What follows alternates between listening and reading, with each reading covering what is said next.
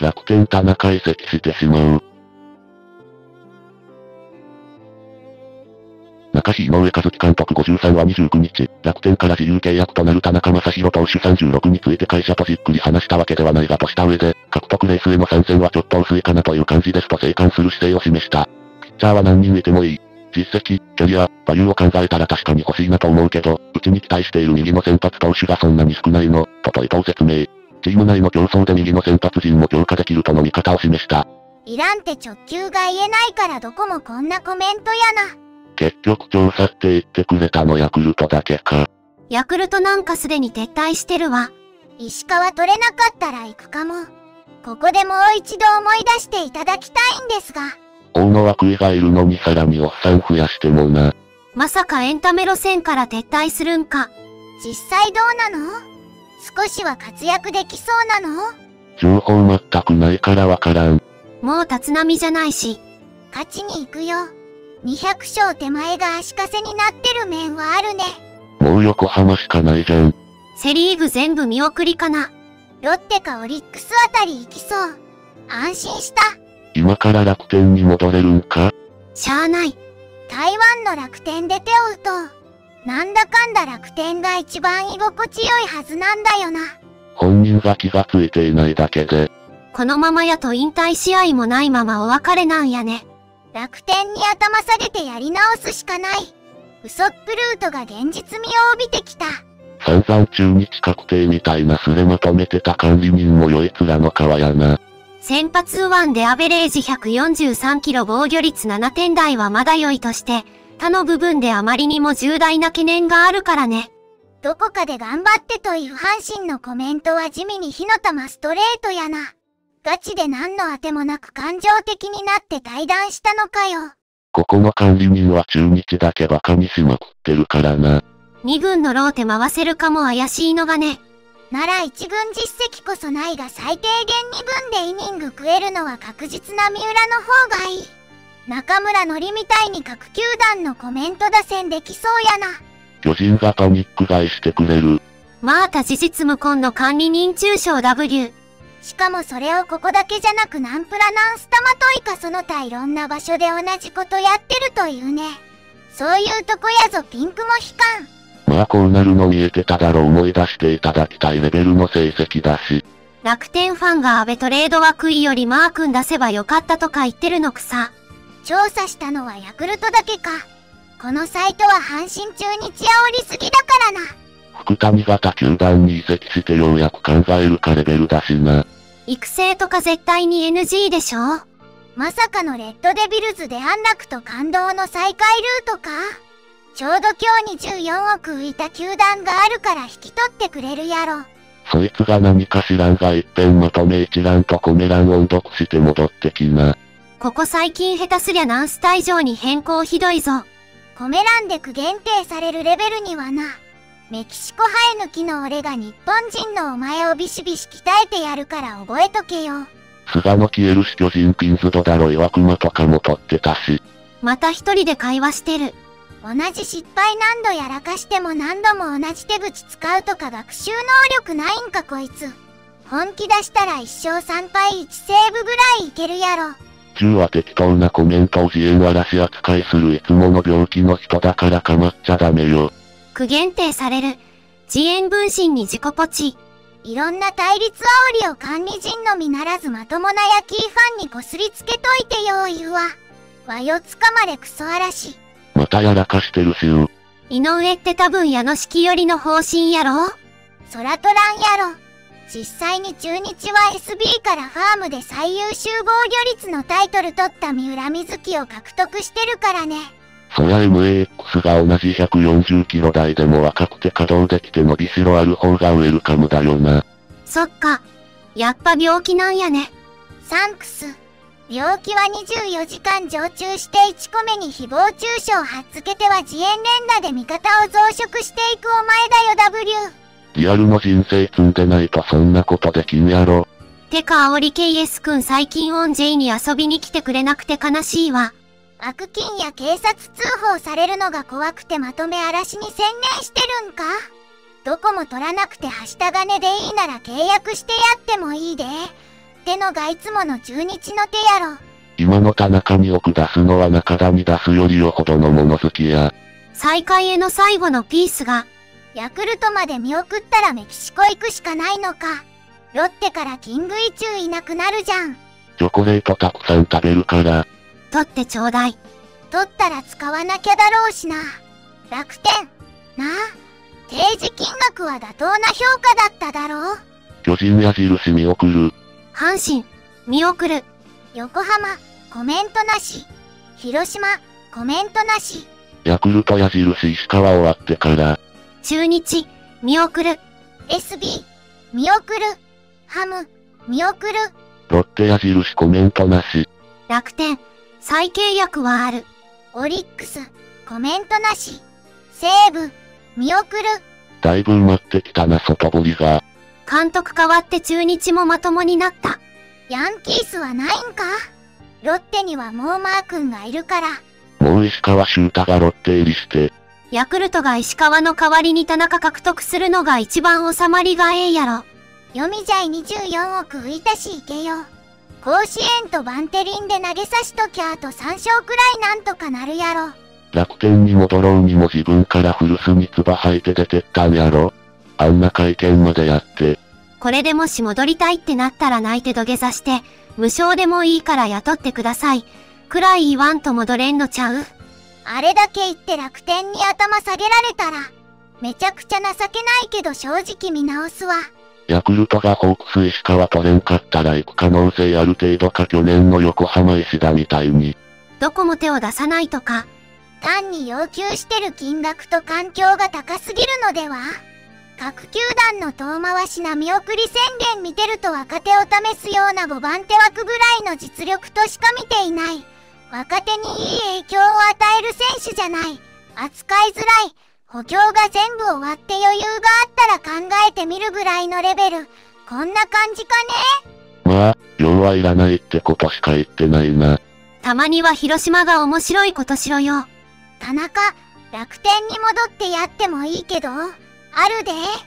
河村田の時みたいにどっかいるやろ。って雰囲気のままどこも動かず次のシーズン終わってそう。ジャニドラ俺は、正気に戻った。中田、まあ、俺たちの仲間になれ。田中、な、あたら、ポロポロ、わい。で、でもわい、何の能力もないぞ。安楽うるせえ行動。そしてパワハラ海賊団はメキシコへ。一番可能性がありそうなヤクルトでさえ GM が微妙な発言してるから先行き不透明だな。今年の広島は歴史に残るレベルの面白いことしただろう。今回の騒動で学んだこと。人間謙虚が一番。いい当たり、ありました？先頭の坂倉選手は良かったけど、それ以外は、いい当たり、ありましたか？ないな W。自己紹介を通。それでもナンプラにはかなわん。楽天が折れて、終始折れてるけど、出来高をなくす代わりに年俸を5500万とかに上げてやって拾ってやるしか方法がないな。それで正解かどうかは確率半々。どこ行くねんマジで？外堀どころかまあが底なし沼に埋まってない？本人が金額じゃないって言ってるから手を出さないんじゃないかな。金額じゃないってことは必ず一軍で投げさせろってことでしょう。今年の1、2軍成績でそれは厳しい。オープン戦より成績落ちてて改善傾向になさそうなのもまた厳しい。なんであげるねん。楽天からしてもそこまでして残ってほしくはないと思うぞ。今年のメジャー組より動向が気になるわ。NPB でやりたいならもう楽天に頭下げるしかないと思うよ。それにしても会見での発言が本当に余計だったな。村田はすぐにコーチになれたしニッコニコで古巣にも復帰したけどまあはそのルート乗れる？楽天先生ごめんなさい。野球がしたいですルート。しかマジでないかもしれん。NPB で最後の20勝投手の姿か。これが？他の球団はマジで1500万で十分だけど楽天だけは話が違う。腐っても生え抜きの大物なのである程度は花のある額は出さないと体裁が悪い。5000万ぐらいはさすがに出す。ただあくまで唾吐いた田中が頭下げればの話。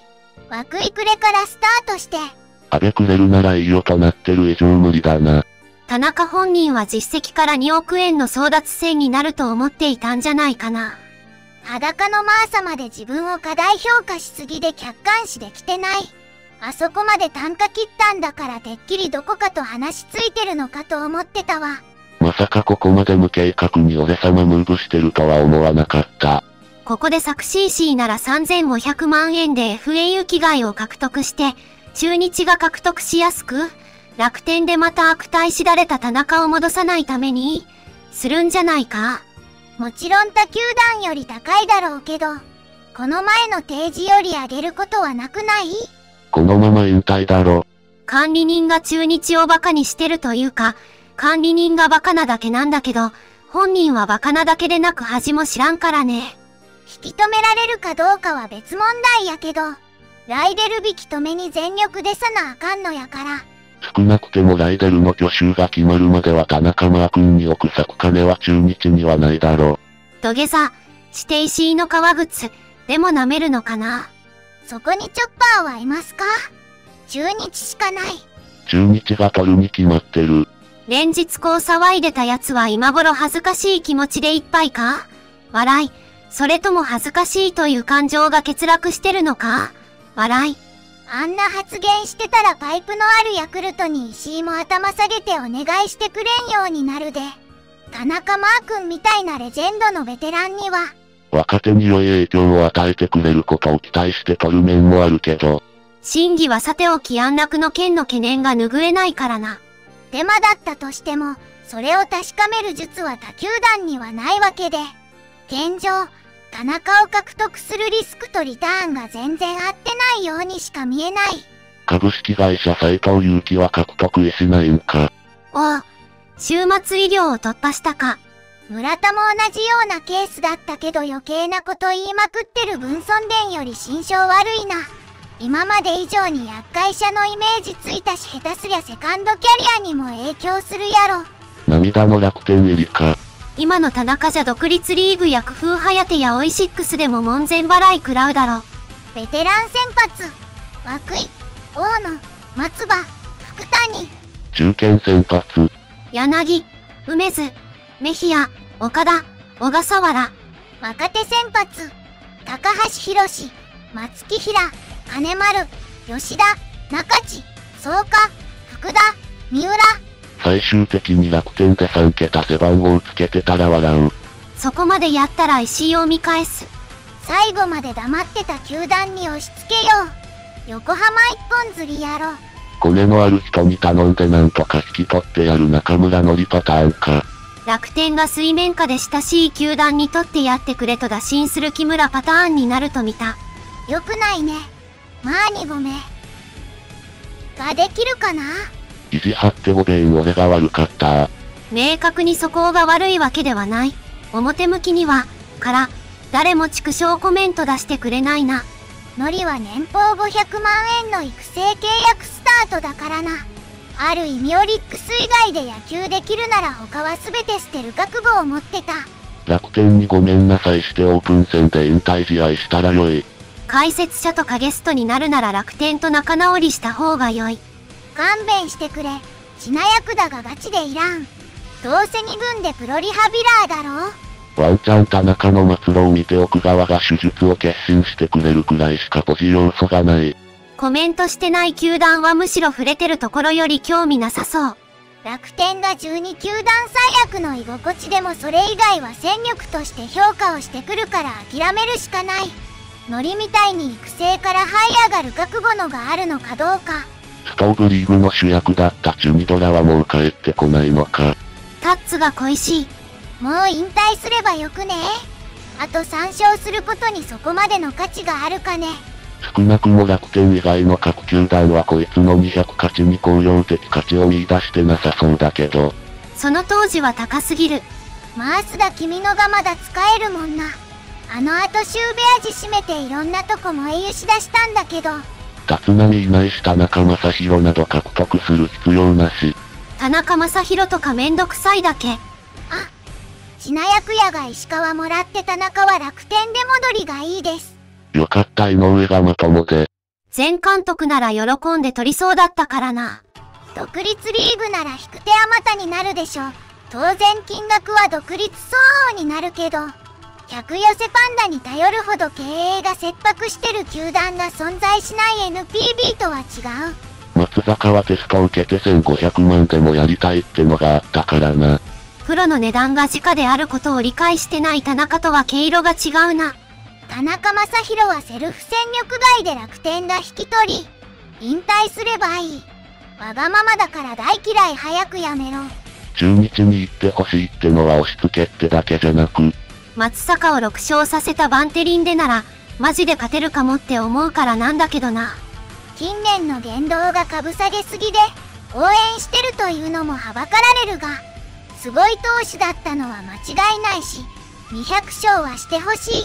ヤクルトが、石川取れなかったらって意見見るけど、今の田中が神宮で抑える例が浮かばない。この唐突な管理人煽り、それに対して不自然レベルのポチ数。まあいつも通りやね W。まあに謝らせたいならまずヤクルト村上をは、3呼ばわりした上に自演失敗したこと謝れよ。合算記録は日本とメジャーのみ認められてるけどさ。WBC やプレミアで、日本より上に来た国のプロリーグは、次の大会までは合算 OK ってことにしてよくね？そうすりゃ、田中は台湾も選択肢。いつにも増して認定君大暴れやね。やっぱ本当のこと言われたら腹立つんやな。爆速で答え合わせたスカル。無関係ならスルーしとけとあれほど。ご視聴ありがとうございました。よかったらチャンネル登録お願いします。